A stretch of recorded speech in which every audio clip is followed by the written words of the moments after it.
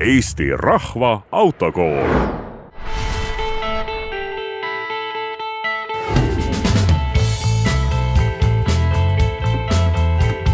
autopoest saame kätte sõiduki, millega saab sõita. aga mis on see lisavarustus, mida mugavuse ja turvalisuse suurendamiseks on autole mõtet külge panna? mis asi on näiteks karterikaitse? see ka puutub asju, mis seotud ka turvalisusega. ja karterikaitse just mõeldud selleks, et kaitsta autot ja kaitsta just autoomanikku ja teha tema elu mugavamaks autos. kaitsta löökide eest, poori eest näiteks kui te sõidate jääsel teel ja tunnete, tekib mingit löök vastu jääd, mis te tunnete? ikka soovite kohe kontrollida üle, kas seal kõik on korras. ja kui on põhi kaitstud, siis tegelikult te ei muretse selle eest, lihtsalt ei märka selle lööki.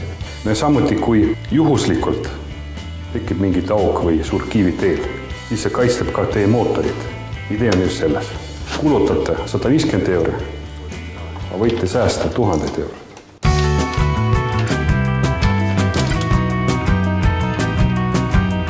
tänasel päeval mõistlikum ikka kasutada ja valida nagu uue põlvkonna ja selle sajandi materjale. no nii nagu näiteks hammaplommid. vanasti ka oli ju metallist, jah. Praegu pannakse natuke teisest materjalist. ja siin on täpselt sama asi. komposiit, kõigepealt ta on tugevam kui muud materjalid, mehaaniliselt. ja teiseks, mis tehakse täpselt auto järgi, iga auto järgi. ja see ikka kaitseb ka pori ees tunduvalt parem.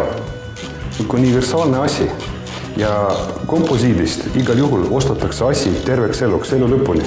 Te ei pea ju seda vahetama. ja üks veel, mis on väga tähtis asi, et pärast lööki see ei deformeeru.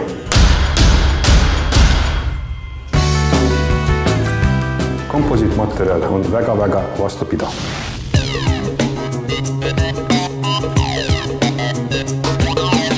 lisaks kartuli kaitsmele on veel lisavarustus, mis võiks kasutada nii suvel kui ka talvel. Näiteks parkimisandurid, mis on mugav kasutada ja mis säästavad nii teie kui ka teiste remondikulusid.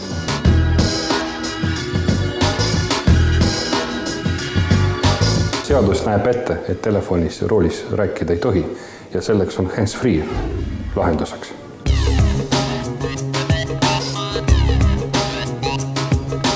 püsikiiruse hoidja tagab teile stabiilse sõitu ja samuti ka aitab säästa kütusekulu.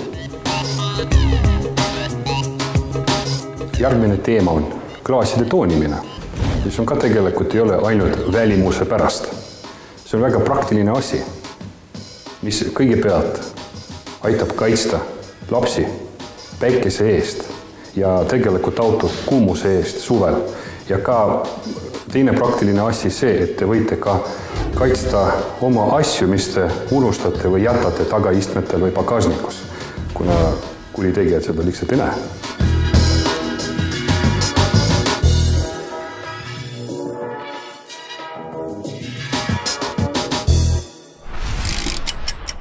terveks eluks vajalik